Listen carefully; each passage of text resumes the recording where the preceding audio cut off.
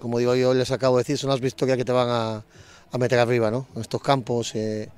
difíciles, un equipo muy, muy difícil, muy exigente, que aprovecha un error nuestro infantil y, y juega con ese gol, ¿no? Creo que el equipo ha,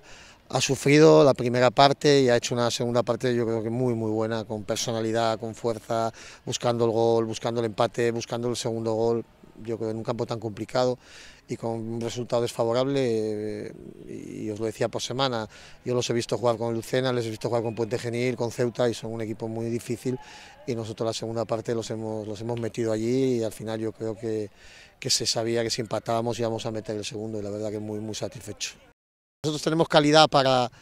para jugar y no tenemos que empecinarnos solo con llegar con Antonio, ¿no? Creo que la primera parte también el gol nos puso nerviosos, nos inquietó, ¿no? Como fue el error de, Alain y como fue, pues yo creo que nos inquietó un poquito, nos dejó un poco ahí fuera de, del partido, ¿no?